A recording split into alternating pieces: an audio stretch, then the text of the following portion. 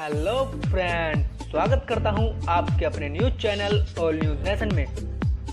दोस्तों वीडियो शुरू करने से पहले मैं आपको बताना चाहूँगा कि यदि आप हमारे चैनल पर नए हैं तो प्लीज़ चैनल को सब्सक्राइब करें और नोटिफिकेशन बेल को ज़रूर दबाएँ, ताकि जब मैं जब भी नई वीडियो अपलोड करूँ तो सबसे पहले आप पर उसका नोटिफिकेशन पहुँच जाए और आप उस वीडियो को देख सकें। तो दोस्तों वीडियो को शुरू करते हैं।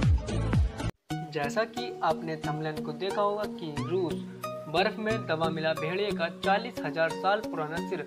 बालों के साथ दांत भी सही सलामत मिले। साइबेरिया के याकूतिया क्षेत्र में मिला भेड़िए का कटा हुआ सिर। सिर करीब 16 इंच लंबा है। मौजूद भेड़िए के सिर का करीब दो गुना है। मॉस्को वैज्ञानिकों ने साइबेरिया की बर्फीली पहाड़ियों में से हिमयुग के भेड़िए का सिर खोजा है। भेड़िए के सिर में दिमाग के साथ साथ उसके बाल और दांत भी सुरक्षित हैं।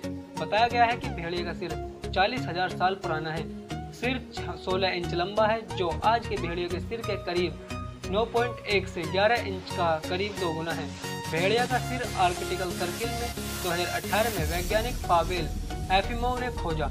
धड़ आसपास कहीं नहीं मिला, इससे माना जा रहा है कि भेड़िए पर किसी दूसरे जानवर ने ही हमला किया था, क्योंकि रूस में पहली बार मानव जाति बत्तीस हज़ार साल पहले आई थी। रूसी वैज्ञानिक डॉक्टर एल्बर्ट प्रोतोपोव ने बताया कि सिर में मौजूद ज़्यादातर कोशिकाएँ बिल्कुल नई जैसी ही हैं। उन्होंने कहा कि भेड़िए के सिर की तुलनात्मक रिसर्च अब आधुनिक युग के भेड़िए के साथ ही की जाएगी। इससे साफ़ होगा कि बीते हज़ार सालों के बदलते हालात में जानवरों का विकास कैसे हुआ।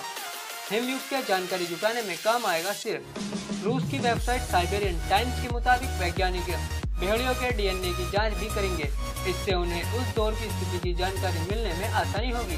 Jikei university school of medicine in Tokyo की प्रोफेसर नाओकी सुजुकी के मुताबिक भेड़े के सिर की सिटी स्कैन में उसके अंदरूनी अंग और दिमाग सही हालत में पाए गए हैं।